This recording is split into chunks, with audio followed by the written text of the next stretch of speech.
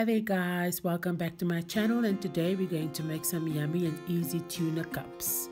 So let's go over the ingredients and see what we need to do to make these delicious easy-going tuna cups. I have about a half a green pepper and half an onion which I'm going to finely chop and then I have about one disc of um, feta cheese but I didn't use the whole disc I used only about half of the disc then we have a tablespoon of paprika spice, which we're also going to add, which is going to give a nice spiciness and a nice warmness to the dish. I have some grated cheddar cheese. You can use whatever cheese you like. I only had cheddar cheese on hand.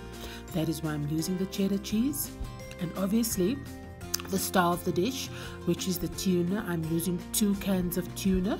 You can use one, two, it, it depends on you how much you have. And then obviously one of my favorite ingredients which is the crushed garlic and chili paste as well. And then I also had some some fresh coriander in the fridge which I, which I thought uh, would accompany the meal and the flavors quite well. And I chopped that up as well and threw it into the bowl as well.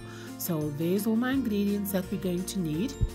And um, let's get a chopping let's get a mixing and let's get started with these easy quick and delicious tuna cup cups so now I've chopped everything up as finely as I can. I'm adding everything to the bowl. And oh one more thing. I've added about a tablespoon and a half of mayo. You can use whatever mayo you have on hand and add that to the bowl as well. And then I've added, I've drained and I've squeezed as much of the liquid out of the tuna that I could and I've added both of the tuna cans to the bowl. I've obviously realized that the bowl is not going to work so let's just go ahead and change the switch the bowls up or change the bowls up quickly and add and change the, the ingredients over. I'm now adding the paprika spice to the mixture. Mmm, look at that, beautiful. I love everything spicy.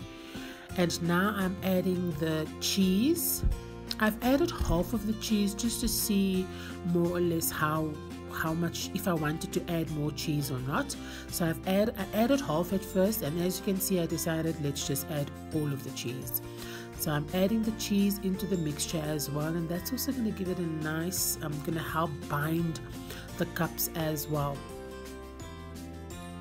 Okay, everything is nicely in the bowls. I'm now adding half of the disc of the feta cheese as mentioned previously, just crumbling that into the bowl as well.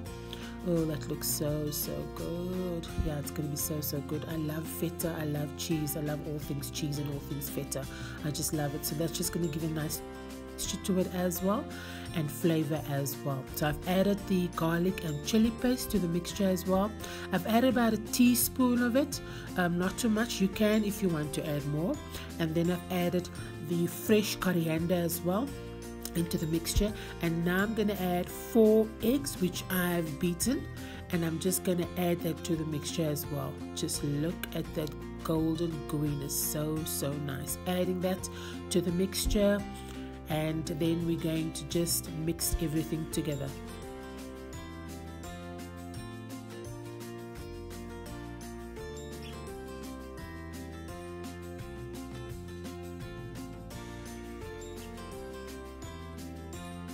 So now that I have all my ingredients in the bowl, I'm going to mix everything together and get it well incorporated, making sure that everything is well mixed tuna, egg, cheese, feta, everything. So now I've just uh, scooped some of the mixture into my little tray and I'm going to transfer the little tray into my air fryer. You can obviously do this in your ovens as well. More than welcome to do so, but I just think my air fryer is just quick and easy and less cleaning.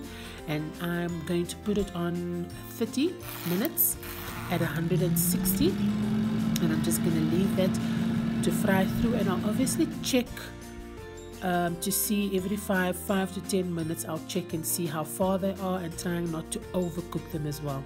So they turned out quite well. I'm really impressed. How it turned out I'm very very happy. Plated with some avo and, and, and a wedge of lemon just to squeeze it over if, if I tell you how nice this was it really came out nice. What I did with the second batch is I actually added some fresh chilies as well because like I said I love me some chili and it came out very very nice. So try the recipe let me know down below what you think. Bye